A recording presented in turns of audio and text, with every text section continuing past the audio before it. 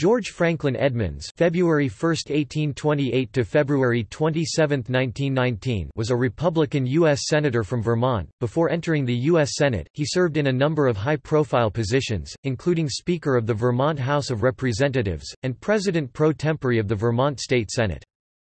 Edmunds was born in Richmond, Vermont and began to study law while still a teenager. He proved an adept student, and was admitted to the bar as soon as he reached the minimum required age of 21. He practiced in Burlington and became active in local politics and government. After terms in the Vermont House of Representatives and Vermont State Senate, Edmunds was appointed to the U.S. Senate in 1866, filling the vacancy caused by the death of Solomon Foote.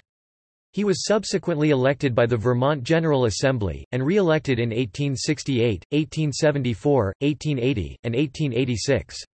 Edmunds served from April 1866 until resigning in November 1891.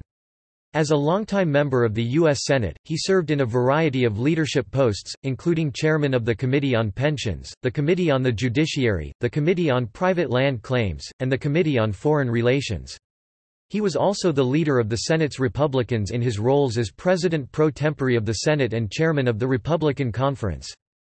Edmunds was an unsuccessful candidate for president at the 1880 and 1884 Republican National Conventions. After leaving the Senate he practiced law in Philadelphia. He later lived in retirement in Pasadena, California, where he died in 1919. He was buried at Green Mount Cemetery in Burlington, Vermont.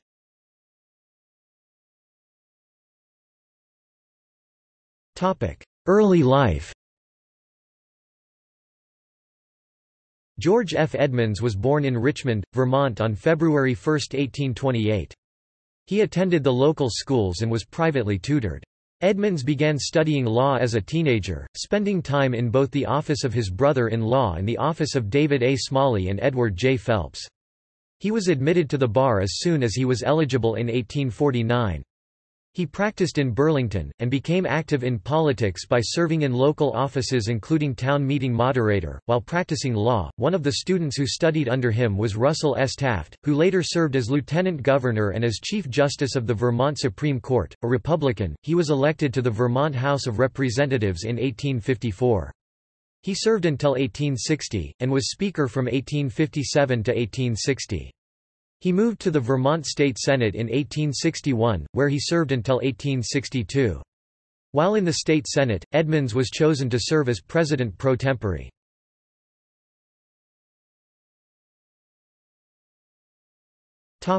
United States Senate After the death of U.S. Senator Solomon Foote in March 1866, Governor Paul Dillingham was expected to appoint someone from the west side of the Green Mountains, in keeping with the Republican Party's mountain rule. He first considered former Governor J. Gregory Smith. When Smith indicated that he would not accept, Dillingham turned to Edmunds, who had favorably impressed Dillingham during their service together in the state Senate, and whose residence in Burlington was on the west side of the state. Edmunds subsequently won re-election in 1868, 1874, 1880 and 1886, and served from April 1866 until resigning in November 1891. In the Senate, Edmunds took an active part in the attempt to impeach President Andrew Johnson in 1868. He was influential in providing for the Electoral Commission to decide the disputed presidential election of 1876 and served as one of the commissioners, voting for Republicans Rutherford B. Hayes and William A. Wheeler. He was the author of the Edmunds Act against polygamy in Utah and the Sherman Antitrust Act to limit monopolies. In 1882, President Chester A. Arthur nominated Senator Roscoe Conkling to replace the retiring Ward Hunt as a justice of the United States Supreme Court. When Conkling declined, Arthur chose Edmunds, who also declined. The appointment ultimately went to Samuel Blatchford.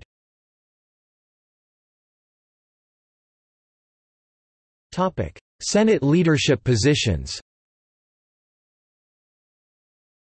Edmunds served as chairman of the Committee on Pensions from 1869 to 1873, the Committee on the Judiciary from 1872 to 1879 and again from 1881 to 1891, the Committee on Private Land Claims from 1879 to 1881 and the Committee on Foreign Relations in 1881.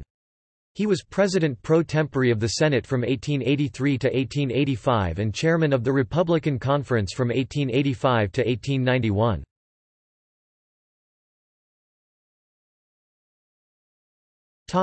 Reputation in the Senate While serving in Congress he continued to practice law, as did many other members of Congress at the time. He held retainers from railroads and other corporations, including those which could be affected by Senate action. An acerbic debater, he often favored the status quo or slow progress. He was known for making his colleagues feel the sting of his criticisms, and some thought him better at merely opposing than offering constructive alternatives. David Davis joked that he could make Edmunds vote against any measure by simply phrasing the request for votes in the New England town meeting way, "'Contrary-minded will say no'." One friend trying to interest him in a presidential bid pleaded, "'But, Edmunds, think how much fun you would have vetoing bills.' Edmunds took special delight in goading Southern senators into blurting out statements that would embarrass the Democratic Party. To those Southerners opposed to any federal role in protecting blacks' right to vote, Edmunds seemed the epitome of Yankee evil. One Southern correspondent in 1880 wrote, when I look at that man sitting almost alone in the Senate, isolated in his gloom of hate and bitterness, stern, silent, watchful, suspicious and pitiless, I am reminded of the worst types of Puritan character. You see the impress of the purer persecuting spirit that burned witches, drove out Roger Williams, hounded Jonathan Edwards for doing his sacred duty, maligned Jefferson, and like a toad squatted at the ear of the Constitution it had failed to pervert." But Edmunds also had admirers. One Democrat with no reason to appreciate him wrote a colleague that among all the Republicans, "'Edmunds made the most impression upon me. I couldn't help admiring his clear and incisive way of putting a question, although it appeared to me that his manner is occasionally very irritating. This manner of his is very much that of a lawyer employed as counsel in a case, who therefore makes ex parte statements, and thinks it fair to make all manner of allegations." His closest friend in the chamber for many years was the ranking Democrat on the Judiciary Committee, Senator Allen G. Thurman of Ohio.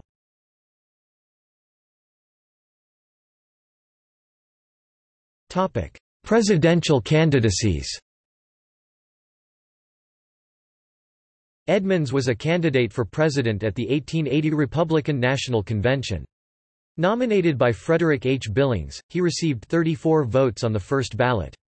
His support remained at 31 or 32 votes through the 29th ballot, after which his supporters began to trend towards eventual nominee James A. Garfield. In 1884, Republicans who favored civil service reform, including Theodore Roosevelt, supported Edmunds for president over incumbent President Chester Alan Arthur and former Senator James G. Blaine, hoping to build a groundswell for Edmunds if the two stronger candidates deadlocked.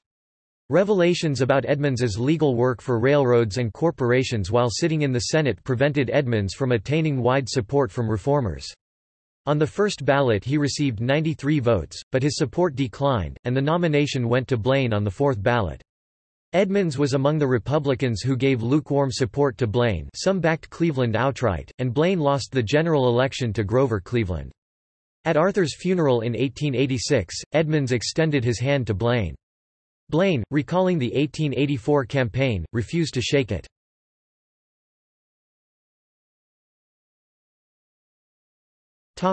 Senate resignation, retirement and death Edmunds resigned from the Senate in 1891 in order to start a law practice in Philadelphia, Pennsylvania. He later retired to Pasadena, California where he died on February 27, 1919. He was buried at Green Mount Cemetery in Burlington.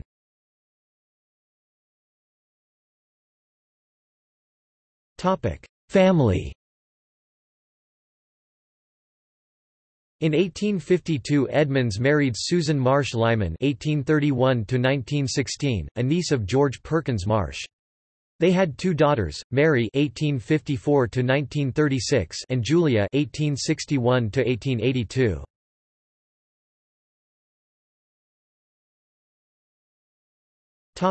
Awards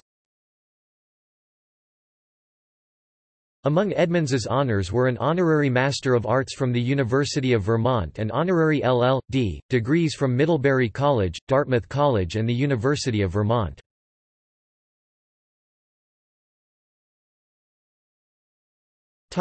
Legacy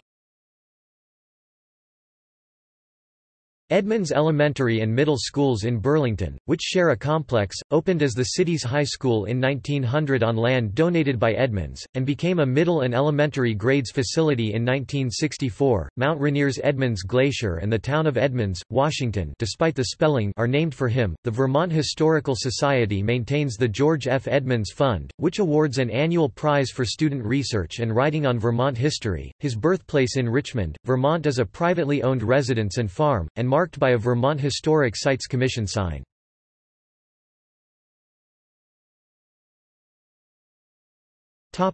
See also.